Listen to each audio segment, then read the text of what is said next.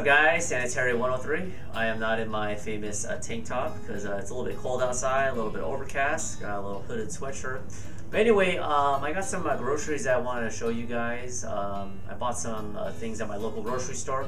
Uh, some of you, my uh, old subscribers, have seen these videos, but I get new subscribers every day, so I wanted to fill you in on what I bought. So let's do this pretty quick, give you guys an idea of what I, I got a lot of the same uh, basics. We got some organic uh, eggs right here, a good source of protein.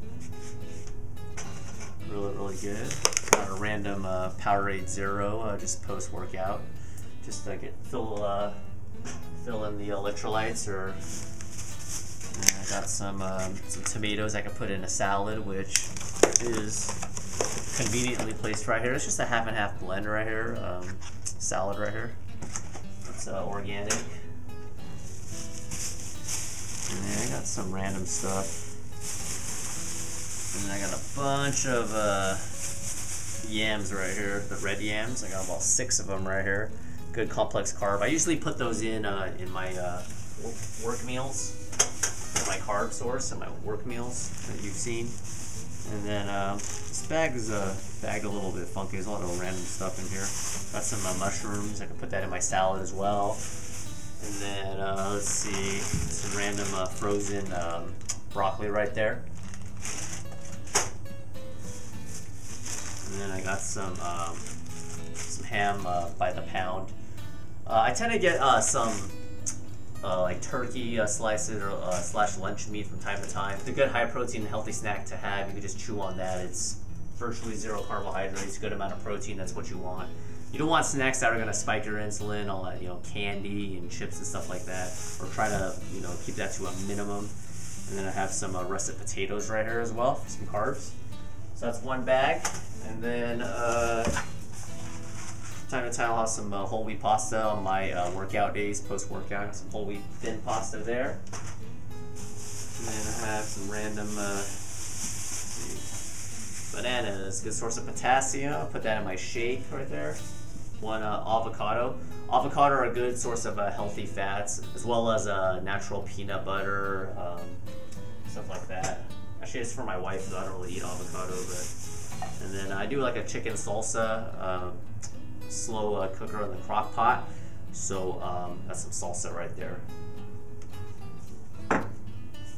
Then I got some canned stuff, but some more random uh, produce and carrots, three carrots and then a bunch of canned stuff. So I got some reduced sodium black beans right there. And then I get some soup from time to time, especially because it's it's a little bit colder now, and I usually get the uh, spread these out. Bam, right there. Is the Wolfgang. I want to take a look right there. Whoops.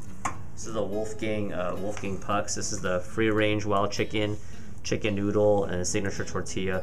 These are a little bit bland because they're organic. A lot of them don't have as much uh, salt, so you can add like a little bit of black pepper and a touch of salt. At least you don't get too much sodium with the soup. The soup is a good uh, option if you're uh, dieting because uh, it fills you up, doesn't have as many calories. Um, if you're not vegetarian, I assume, try to stick with the like the chicken because uh, you want to get some protein in. So that's it for that one. And then last but not least, one more bag. I got some more frozen veggies frozen veggies right here, green beans. And then uh, I'm gonna do some chicken salsa. I mentioned earlier with that salsa. And I got some uh, chicken breasts right here. These are uh, organics, just a free range of a boneless chicken breast right there. I'll do breast or thighs usually. And then more more veggies, same thing. Almost done, guys. And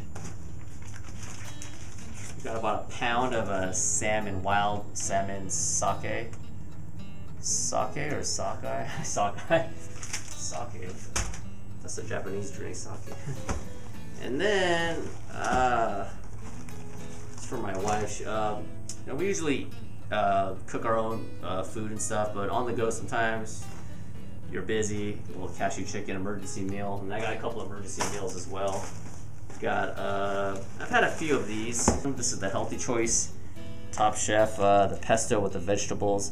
The healthy choice ones, like this one has uh, 300 calories, 7 grams of fat, 34 net carbs, 22 protein. So you want to get that carbohydrate and protein ratio pretty similar. So it's pretty good. It's a little bit more than a one to one.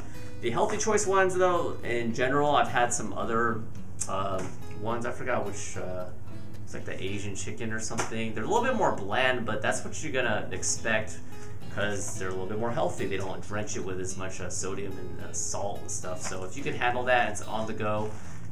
It's a decent option. I wouldn't rely too heavily on the uh, TV dinners, but once in a while, hey, you gotta live a little. And then the grand finale. This one I'll devour once once in a while, and it's a better option than a regular like pot pie. This is from, and I've had this a few times. The boomerangs. This is the Aussie pies right here. This is the chicken and mushroom and uh, they're really really good. Not as creamy and not too bad. 360 calories for one, 16 grams of fat, um, 34 uh, protein, 15 grams of protein. Uh, ah, sorry. 34 carbohydrates, 15 protein. So a little bit more than a two to one uh, carbohydrate to protein ratio. So really, really good. Uh, check these out. This is also um, white meat and it's raised without antibiotics or hor hormones. I try for the most part to stay away from the hormones and the antibiotics and stuff with the my protein. So uh, that's about it uh, for this video. Hope you guys enjoyed that. And uh, one last thing I want to mention is I know some people like on a budget, it's gonna cost a lot of money. You don't have to buy, you know, all this food. It can add up. But if you can, if possible, definitely try to shop for your own food if possible. Now, granted, everybody's financial situation is a little bit different, but if possible, try to um, get you know some fresh produce some good healthy uh, proteins and try to cook at least a few times a week. You'll uh, definitely get used to it and it's not going to be too bad. Thanks once again for watching this video. Comments or questions are always welcome. Be sure to also subscribe to my channel for all the latest in diet, health, and fitness if not already. I put out at least two to three new videos per week. I'll see you guys next time. Bye.